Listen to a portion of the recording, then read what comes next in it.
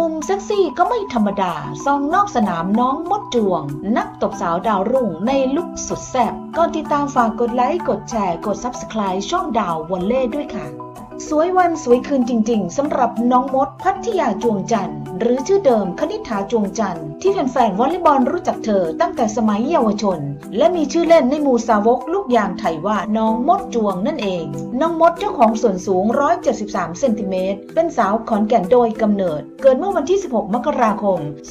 2541 ปัจจุบันอายุ 24 ปี สังกัดสโมสรวอลเลย์บอลขอนแก่นสตาร์วีซีเล่นในตำแหน่งหัวเสา